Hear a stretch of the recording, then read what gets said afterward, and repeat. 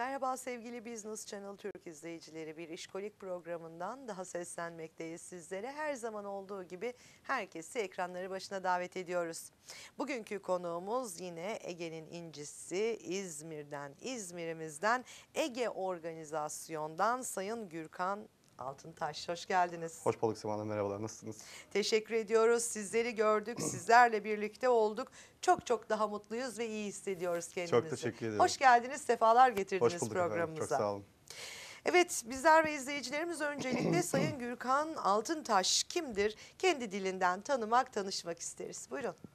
1984 Bulgaristan Kırcaal doğumluyum. Ee, 1989 yılında Türkiye'ye geldim.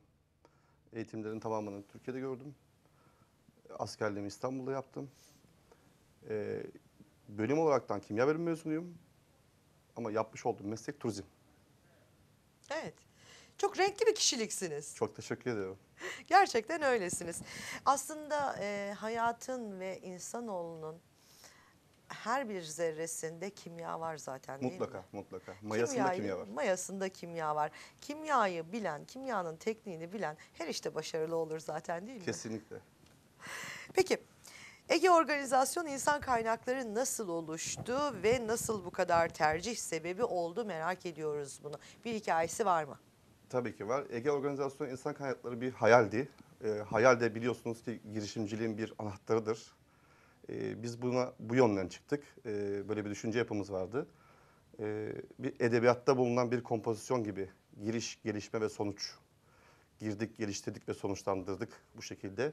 E, üç arkadaşımızın ikisi turizmci, ben kimyacı olaraktan bir araya gelip de kurduğumuz ve isimlerini baş harfimizi koyduğumuz İzmir'in sembolü olaraktan Ege ismini de verdiğimiz arkadaşlarımızın kurduğu bir turizm şirketi olaraktan organizasyon şirketimizi kurduk. Bu şekilde e, Ege bölgesinde yoğunlukla otel, turizm konaklamaları, restoran, kafe, bar, konser alanları gibi yerlerde faaliyet göstermeye başladık. E, üçüncü yılımıza girdik. Gayet de memnunuz. İyi bir şekilde hedeflerimiz var. Daha da iyi olacağına inanıyoruz. İnşallah diyoruz biz de. Zaten bu inanç olduktan sonra, bu azim olduktan sonra e, başarıyı yakalamamak da e, olmaz diyoruz. Bu markayı oluşturmak ve şirketi kurmak, yönetmek konusunda herhangi bir danışmanlık hizmeti aldınız mı? Danışmanlık hizmeti e, şu şekilde e, hedef aldığımız e, kitle, hedef aldığımız marka, hedef aldığımız şirketler vardı. Bunların örneklerini takip ettik. Bunların e, yapmış olduğu işleri takip ettik. Hep üstüne koyaraktan gittik. E, tabii ki bunları e, yaparken de e, ufak ufak bir danışmanlık hizmeti aldığımız yerler de vardı. Ama bizim hedeflerimiz daha da iyi bir şekilde diğer eksikleri görerekten tamamlayaraktan gittiğimiz için çok çok daha fazla bir şekilde bir danışmanlık hizmetine gerek duymadık diyebilirim. Evet. Ee, biraz önce de bahsettiğiniz çocukluk hayallerinizde de vardı değil mi böyle bir iş? Çocukluk hayallerimizde şöyle bir şekilde vardı. Biraz işin e, enteresanı şu şekilde. E, ilkokul zamanlarında öğrencilikten öğretmenlerin hep sorduğu bir soru vardır. İşte büyüyünce ne olmak istersiniz, ne istersiniz gibisinden şey gibisinden. Benim fikrim hep farklıydı. O zamanki bakış açımdan kaynaklanıyor büyük ihtimal. E, genelde e, herkes doktor, mühendis, e, futbolcu olmak isterken ben hep demişimdir ki garson olmak istiyorum. O zamanın çağın garsonlarının giyinişleri, e, oradaki şekilleri, oradaki atmosferleri hep ilgimi çekmişti. Yıllar sonra da Rabbim böyle bir şekilde nasip etti ki bir garsonluk şirketi kurdum. Hep o zamandan geldiği gibi demek ki böyle bir şekilde hep küçükken de kafamda hep takılı kaldığım bir olaymış. Evet. Zaten neyi çok isterseniz o olurmuş değil mi? Gerçekten de olurmuş. Peki eee, Ege Organizasyon'un turizme ve otellere katkısı nedir desek? Ege Organizasyonu turizme katkısı şu şekilde e, otellerin, e, turistik konaklamaların, e, konser alanlarının e, en çok istemiş olduğu düğün, davet, gala yemekleri, kokteyl, seminer, toplantı, konser gibi e, alanlarında e, en çok e, bize ihtiyaç duyulan alanlar şu şekilde oluyor. Bunların almış olduğu organizasyonlarda biz hep e, onlarla birlikte çözüm ortaklığı, onlara personel desteği, onlara hizmet desteği vermişliktir. Hani daha çok böyle e, nasıl diyeyim turizmde e, iş ortaklığında daha çok ön plandayız. Evet. E, Gerçekten de turizmde hizmet veren birçok firmanın çözüm ortağı olarak çalışıyorsunuz öyleyse. Çözüm odaklı çalışıyorsunuz. Çözüm çünkü. odaklı çalışıyoruz. E, almış olduğumuz işin e, başından sonuna kadar takipçisiyiz. Her işimizin başında durmak istediğimiz e, doğrudur. Yapılan organizasyonların hepsinde de başındayız. e, başlangıç nasılsa bitişte aynı şekilde sağlıyoruz. İşte bir organizasyonu da başarılı bir organizasyon haline getiren e, o organizasyonun başındaki organizatördür diyoruz biz de. Evet. Başarı kaçınılmaz oluyor böyle olduğu takdirde. Personellerinizi hangi özelliklere göre seçiyorsunuz? Personel alımla ilgili bir e, departmanımız var. E, bu departmanda e, gelen CV'leri değerlendiriyoruz, e, referansları değerlendiriyoruz. Çok da fazla yani bu mesleği çok iyi biliyorum diyen insanları tercih etmiyoruz. Nedense bizim bir sistemimiz var. E, bizim bir e, otellerle anlaşmış olduğumuz bir e, çalışma prensibimiz var. O prensiple gerçekleştirmek için gelen personelin daha çok üniversite öğrencisi, e, iyi bir yabancı dil bilen, iyi bir e, fizibilitesi olan, iyi bir şekilde e, vermiş olduğumuz işi adapte olabilecek arkadaşlar arasında seçiyoruz. Ve bunlarla ilgili bir e, çalışma yapıyoruz. Bunları bir gözlemliyoruz. Bunlara bir eğitim veriyoruz. Bu eğitim aşamasından sonra hizmet alanlarına sunuyoruz. Evet. Böylece e, kriterler bunlar diyorsunuz. Ondan sonrasında ancak e, işlerinin başına geçebiliyorlar diyorsunuz. Hiç unutamadığınız bir organizasyonunuz oldu mu? Ve en çok kaç kişilik bir personel ekibiyle kaç kişilik bir organizasyona hizmet verdiniz? Daha doğrusu damganızı vurdunuz diye. Hiç unutamadığım bir organizasyon e, İzmir'de e,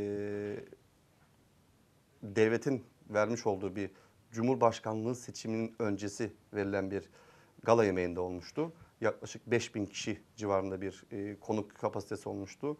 E, tahmin ediyorum ki 400'ün üzerinde bir personel çalıştırmıştık.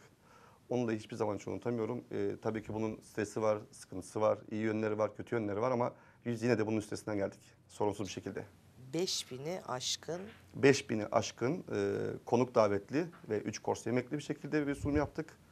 400 civarında bir personel çalıştırdık. düşünemedim şu an. Tek günde bunu bitirdik. Gerçekten unutulmaz. Peki herhangi bir aksaklık çıktı mı? Mutlak surette Tabii çıkmıştır ki ama. çıkıyor. İstemediğin, beklemediğin sürekli aksaklık çıkıyor. Örneğin e, yapmış olduğumuz işte her zaman için titizlik var, ku- kusursuzluk var.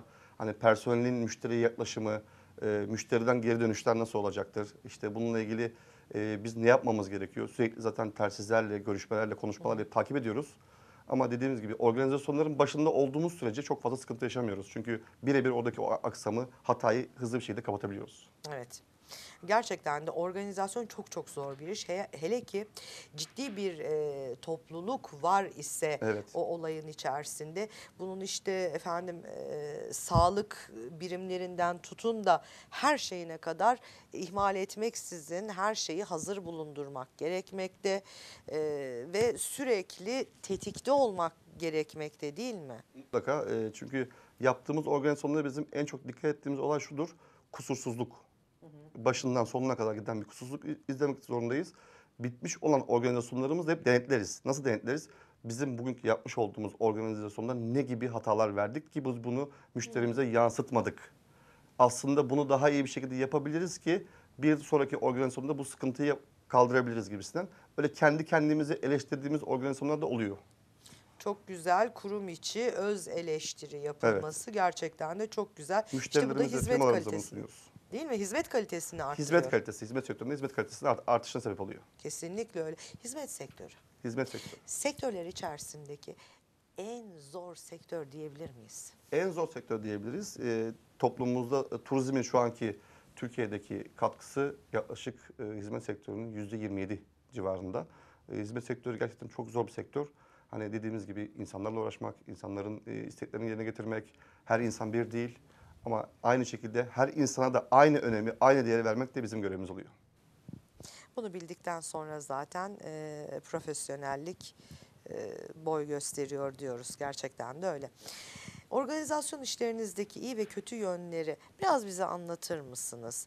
E, bu konu gerçekten çok detaylı bir konu bence değil mi? Kesinlikle. Ee, organizasyon işlerimizde iyi ve kötü yönleri olaraktan şunu aktarabilirim. Bizim organizasyonlarımızdaki en büyük sıkıntı şudur, uykusuzluk. Uykusuzluk, uzun süre çalışma, e, uzun süre yapmış olduğumuz çalışmanın hazırlıkları, e, bu çalışmanın yapmış olduğumuz, e, çizmiş olduğumuz alanlarla ilgili yapılan personel yerleştirme, personelin zamanla gelmesi, personelin bu konuyla ilgili hızlı bir şekilde işi bitirdikten sonra evine gidip dinlenmesi ve ardından tekrar bir sonraki organizasyonu hazırlama ve şu bir kesindir en son biz gideriz evimize. Tabii. En son biz gideriz evimize. O yüzden dediğimiz gibi Hem personel yetiştirme hem de onları dinlendirme çok fazla yorum ama bunlar da e, organizasyonun iyi ve kötü yönlerini bir arada meydana koyar. Peki en çok yorulduğunuz mevsim hangisi? En çok yorulduğumuz mevsim Mayıs ayından Ağustos ayına kadar inanılmaz bir yoğunluk vardır. Yani şu an bu sene yapmış olduğumuz bizim sadece düğün sayısı 327'dir. 327. 327 sadece düğündür. Bunun kokteyli, konseri, e, otel sunumları, konferans, toplantı, seminer hariç. Peki bir gün içerisinde birkaç organizasyona yetişebildiğiniz oluyor mu? Yaklaşık 6 organizasyon bir günde olduğu oluyor. Mesela kokteyl alıyoruz, e, sunum alıyoruz, e, bir yemek galası alabiliyoruz. Bunun üstüne de iki tane düğün alabiliyoruz. E, ekip halinde supervisorlarımızla beraber, şeflerimizle beraber her alana dağılabiliyoruz. Bu çok çok gerçekten büyük bir başarı ve 3 yıllık bir 3 yıllık bir şirketiz. şirket. Ama Gerçekten. dediğimiz gibi bu sektöre girdiğimiz zaman da biz e, diğer arkadaşlarım da olsun, diğer ortaklarım da olsun biz direkt olaraktan bu sektörün en altından gelmiş olaraktan iyi bir şekilde kendimizi hazırladık. Hani en alt seviyesinden en üst seviyeye kadar nasıl bir yol kat ettiğimizi biz kendimiz biliyoruz. Çok doğru. Ve hizmet sektöründe zaten bu yol takip edilmeli. Çünkü e, organizasyonlarda kullanılan bir masa örtüsünün kaç katla ütüleneceğini bile ya da şamdanların sırasını bile Evet. bilmek zorundasınız. Kesinlikle. Onu da zaten en alttan gelen biliyor değil mi? Mutlaka tabii ki her şeyle birlikte en alttan gelen biliyor ve bunları bilmeyene de e, mesela almış olduğumuz organizasyonlarda bize direkt güveniyorlar ama biz bunları sunmak zorundayız kendilerine. İşte biz bunu bunu yapacağız, bu şekilde daha iyi olacak gibisinden. Onların bize vermiş olduğu tam destek de onların organizasyonlarının çok daha iyi bir şekilde ilerlemesini sağlıyor. Evet gerçekten de öyle. Peki eee, bunlar iyi ve kötü taraflarıydı ve işinizi ne kadar detaylı ne kadar severek yaptığınızı da anlattınız. Önümüzdeki yıllar için hedefleriniz ve planlarınız var mı? Varsa bu hedefler planlar nelerdir bunları da öğrenmek istiyoruz. Önümüzdeki yıllarla ilgili, e, organizasyonlarla ilgili bir departman kurmak istiyoruz. Bu da bir e, organizasyon akademi olaraktan düşünüyoruz. Bu organizasyon akademi de şu şekilde olacaktır. E, düğün, davet, kokteyl bir ayrı departman. E, toplantı, konser e, ve de e, seminer olaraktan ayrı bir, bir şekilde departman kuracaktık. Ve önümüzdeki hedeflerimizden en büyüklerden bir tanesi şudur. Turizm sektöründe A'dan Z'ye anahtar teslim paket sunmak. Hani bunun içinde hani şu şekilde e, giydirmesini, süslemesini, cateringini, personelini finaline kadar hepsini yapmak istiyoruz. Tek Harika. başına çözüm odaklı bir şekilde e, bu şekilde bir paket sunmak istiyoruz müşterilerimize. Harika. Şu an eee, Ege'nin incisi İzmir'de Evet. hizmetlerinize devam ediyorsunuz. Peki gelebilecek olan talepler doğrultusunda Türkiye'nin dört bir köşesine de hizmet taşıyabilir misiniz? Amacımız odur. Amacımız odur. E, şu an için Ege bölgesinde aktif bir şekilde çalışıyoruz. Aktif bir şekilde de iyi bir referanslara sahip olduk. Ama dediğimiz gibi hedeflerimize neden bir İstanbul olmasın, neden bir Antalya olmasın, neden bir e, Ankara olmasın. Evet. Şubeleşmeyi düşünüyor musunuz Ege organizasyonu olarak? Şu an daha Depart- çok erken. Departmanların haricinde. Daha çok erken. Ee, dediğimiz gibi e, öncelikle şu akademiyi kurduktan sonra bir nevi belki olabilir. İnşallah diyoruz. Son olarak yeni nesil gençlere, girişimci adayı gençlere neler söylemek istersiniz? Kendi örneğimden yola çıkaraktan şunu söylemek isterim. Ee, girişimciliğin en büyük özelliklerinden bir tanesi anahtar kelimesi hayal etmektir. Hayal ettikten sonra zaten geriye hiçbir şekilde bir şey kalmıyor. Yeter ki hedeflerinize bağlanın. Bir de şu bir gerçektir. İstediğiniz bölümü severek okuyun ki aynı mesleği yapın. Çok doğru. Gerçekten çok doğru. Çok teşekkür ediyoruz katılımınız Ben için. teşekkür ediyorum. Tekrar hoş geldiniz, sefalar getirdiniz Çok teşekkür ediyorum. programımıza. Sağ Çok olun. teşekkür ediyorum. Evet sevgili İşkolik izleyicileri Ege Organizasyon'dan Sayın Gürkan Altıntaş'ı ağırladık. Hoşçakalın.